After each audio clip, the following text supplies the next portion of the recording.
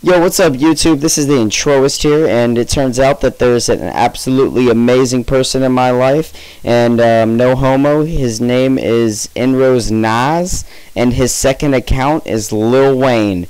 And how amazing is it for him to have the legit Lil Wayne, L I L W A Y N E account for Xbox? I mean, like he goes up into pub matches and he's all like Weezer, and then they're just like, "You're white," but he's the white Lil Wayne, and that's his gamer tag, and it's legit. All right, I mean legit.